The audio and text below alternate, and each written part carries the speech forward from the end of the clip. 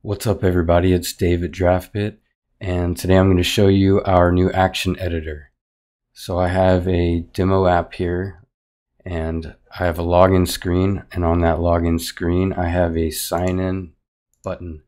And if I click on that sign in button you can see the right panel has updated with all the buttons, different properties and if I come down here to the interactions tab um, I've got my action stack, my trigger for this button, which is on press, and then the different actions that are run when this button is pressed.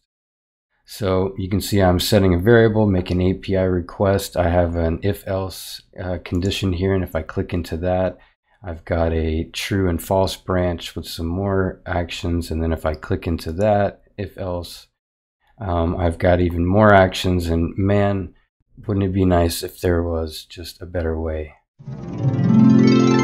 That's better. Welcome to the new Action Editor. As you can see, this is a much better experience. Starting over here on the left side, we have all the actions easily available to you.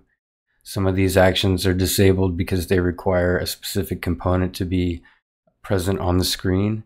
But otherwise, these are all the actions that are available to different triggers on components. And then in the center, we have our workflow, which gives a great visual representation of our actions and what's going on. Much easier to reason about now than the linear stack that we were kind of um, in previously. And then um, over here on the right side, we've got our configuration panel. So anytime I click on one of these actions, you can see I've got all the available props and configuration for each one of these different actions. And so if we want to add one of these different actions, say show an alert here, I can just drag this down, pop it in, and it's ready to go. Ready to configure. Um, say we want to move that above the set variable, we can drag that up here and move it here.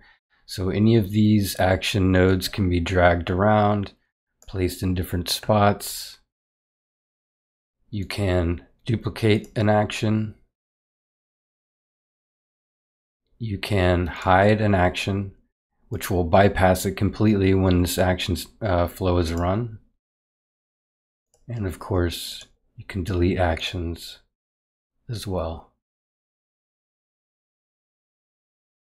So this offers a much enhanced experience for working with actions, especially when you have more complex logic going on here, like a login flow where you need um, a couple different uh, conditional paths or you've got a lot of different things going on.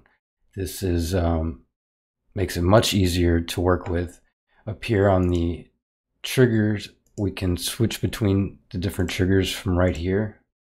And you can see, you can also zoom in and out and pan around. So that is the new action editor in Draftbit, and we hope you love it.